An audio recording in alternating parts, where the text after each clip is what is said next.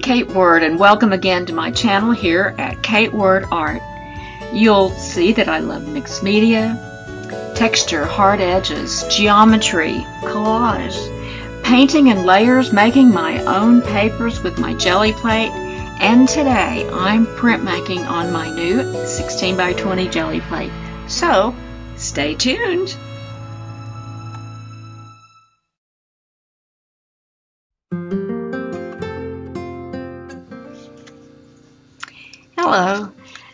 Thank you for spending your YouTube time with me.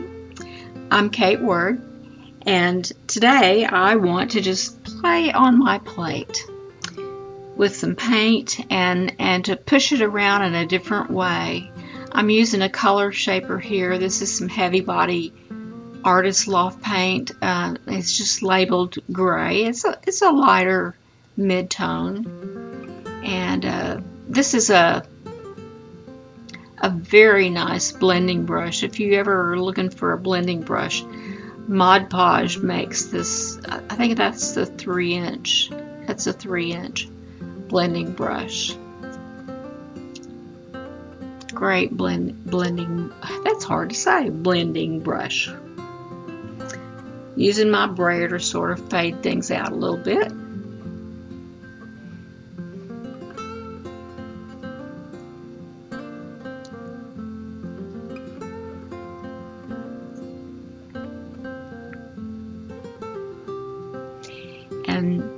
Here I'm just kind of splashing on some Payne's Gray Fluid Paint. Just, I just want to have some fun and, and just do some experimenting. Oh, and that's a, a, a darker mid-tone from Artist Loft. It's also a heavier body paint.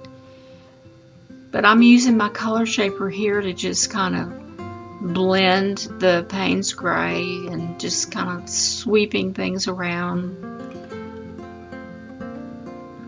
making really some more gestural, gestural, goodness gracious, it's hard to say, uh, marks, even with my brayer, just sort of uh, seeing what what happens. If I move my hand and an arm in a sweeping different way. Break out the silicone wedge and let's let's see what happens there. Smooth things out a bit.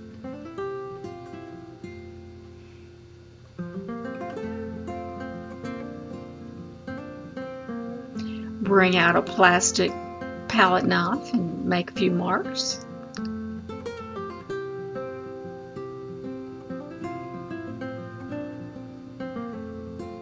Erase a few marks.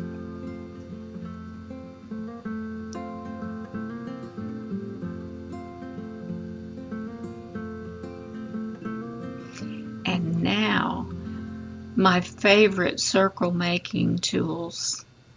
This is the insert for the um, brownie bites or the muffins that I was telling you about in an earlier video the big box stores that have bakeries, if they're uh, selling uh, qu large quantities of uh, baked goods, they use those inserts to set those little miniature bite-size um,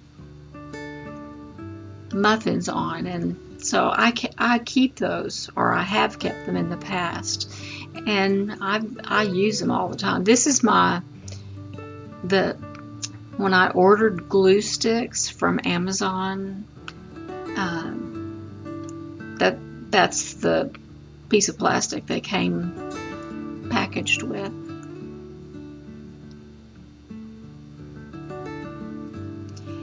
And we're going to see what happens with a piece of Somerset paper. We're going to wait five minutes and voila. We'll just see.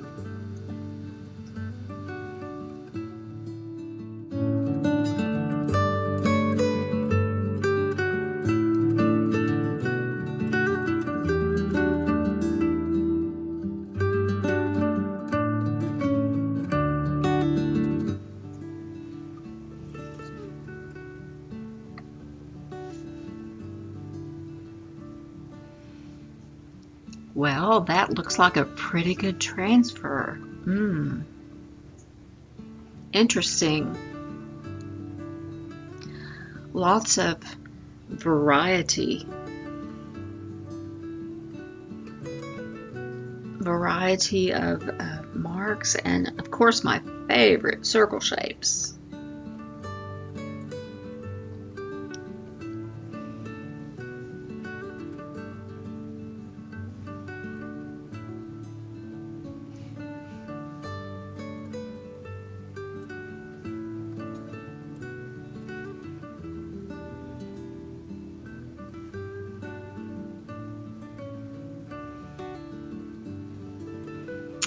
Okay, let's see. Now I these are my new mylar masks um, featuring what else? Circles. I, I got these mylar sheets and um, I think it's a package of 20 and they measure 12 by 12s and so I started cutting them and you'll see numbers on them as I have kind of wanted to keep some order about how they fit together and when I wash them I want to make sure that I can can use them again and, and just just to have some order. Anyway um, you'll see T for top and B for bottom and L for left and R for right and M for middle so, um, and the numbers are just the order that I created them. Um, but anyway, they're they're really they're they're ma- I'm calling them masks masks rather than stencils because they cover such a large area of the plate. So they're they're masking out an area of of the plate that will not get paint. So um, only those open areas will get paint.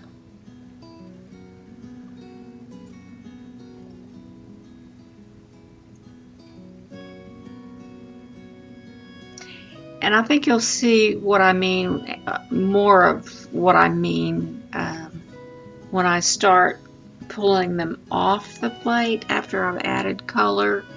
I'm, I'm going to be using my my color shaper to apply the paint.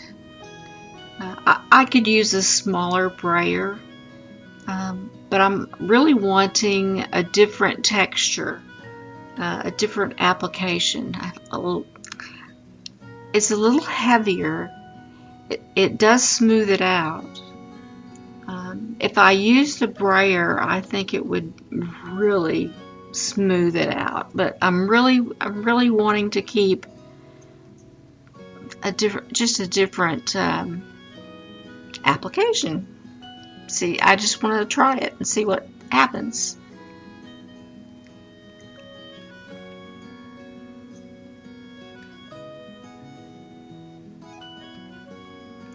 I think that's the thing about art making for me now is um, not being afraid to try something, something new. It's it's kind of like being an explorer or an adventurer. to to have a sense of discovery, I think you have to want to see what happens if I do this. And if I put this uh, smushy, heavier paint over this um, thin paint, or thin paint over heavier paint, a thick mark over a thin mark, or next to a hard edge next to a soft edge. And you'll see in the future that I'm I am going to be painting on my I've already started painting on my prints and I'm I'm thrilled I'm, I'm just really thrilled to use the print as a springboard for more creativity, for collage, for, for mixed media. I guess maybe I'm spoiling the the the pure printmaking process by doing that. Um, but, oh well.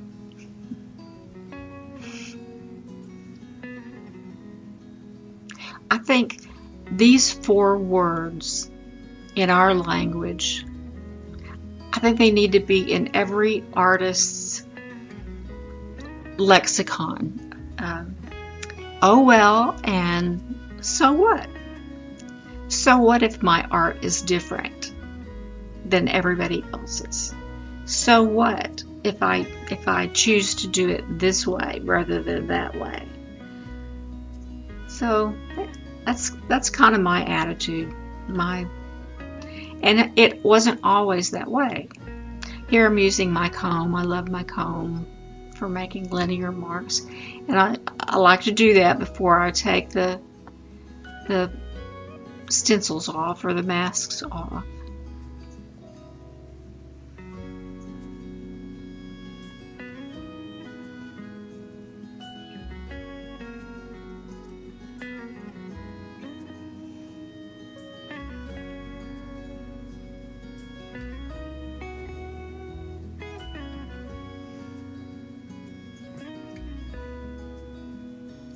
I love working with the, the mylar.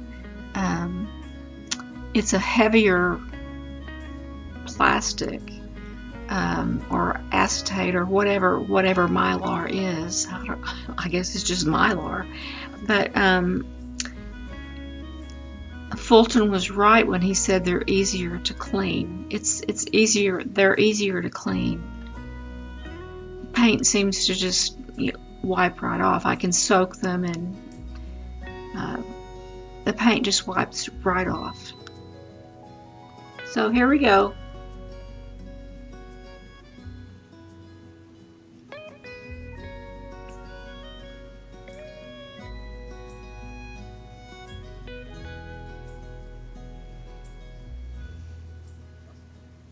We'll wait five minutes and see what happens.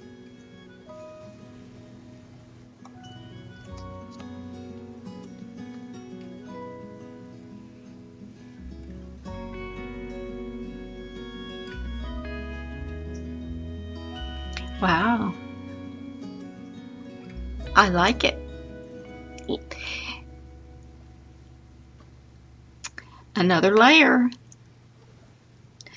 Um, I think there's there's not as much contrast as I had hoped, but that's okay. We can always add another layer.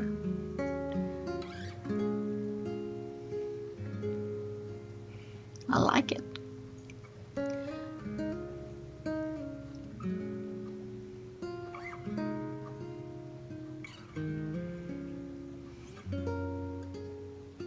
Like seeing the, the circle pattern underneath the that, that's the area that I, ma masked I cannot say that that I masked off that I covered up with the masks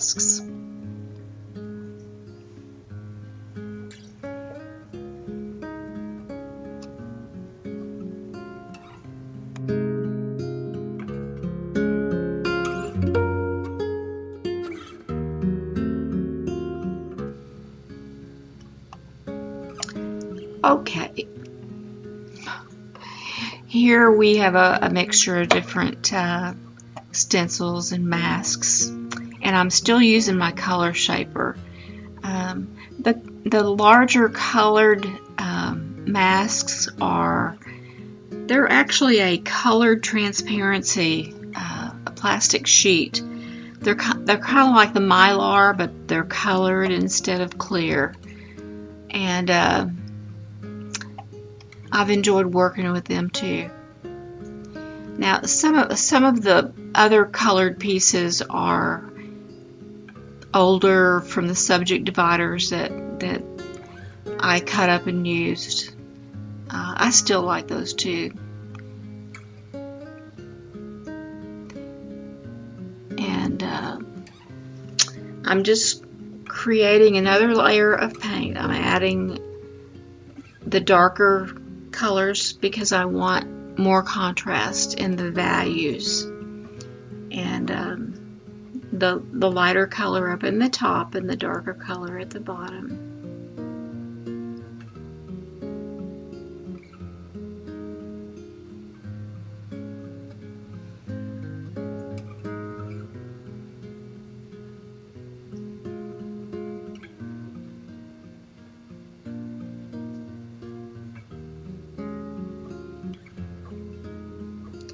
Kind of fun using the color shaper for this this step. Getting into those smaller spaces with paint and um, you know, working from the center of the stencil or the mask um, and and working outward and so that you don't have um, bleeding underneath the edge of your stencil.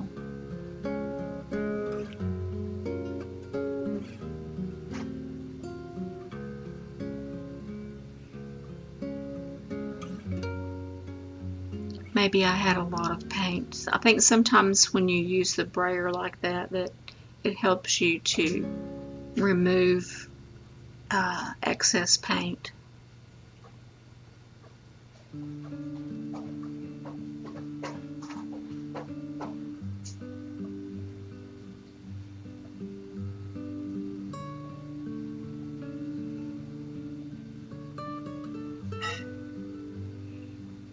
I just wanted some variety.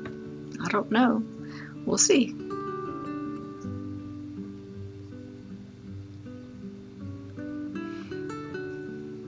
Offloading, cleaning, cleaning my shaper. Now we're going to take the stencils off.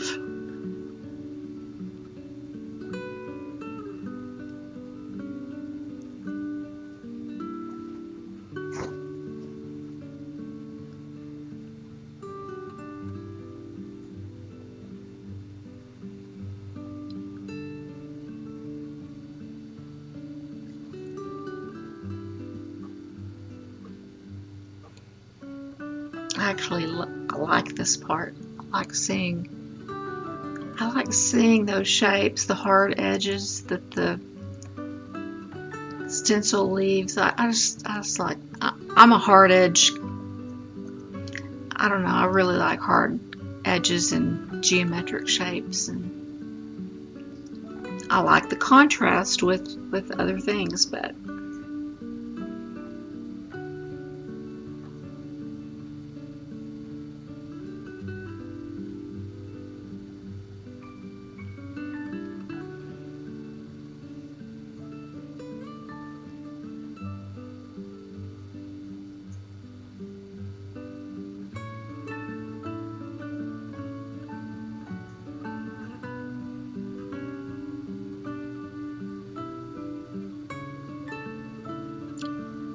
know if I, I don't think I've left any stencils there. Wiping around the edges so I can have a clean edge for my print. So far my registration, my system is working pretty well. I'm, I'm really pleased with my results. And here's the print that we're gonna we're gonna lay down and pull. Let's see, how many layers is this? Oh, this might be three, might be four, I don't know. I think this is number four.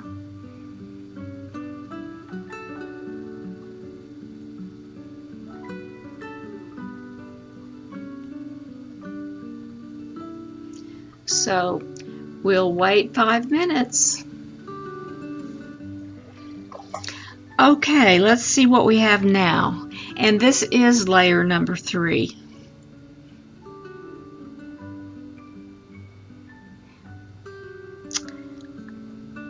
You can see my favorite pattern peeking through there.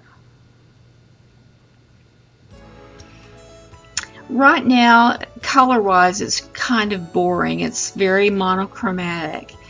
Um, but I hope you can see the difference that adding the darks made, the darks and lights. Um, and we'll just keep adding. I'm not real happy with the way that the yellow, I mean, when I bring the print closer to the camera, it looks kind of yellow.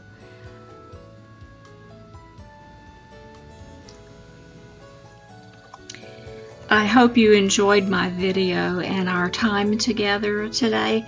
Remember the four most important words for anyone, especially artists. Oh well, and so what? Now, go make some art and dream big.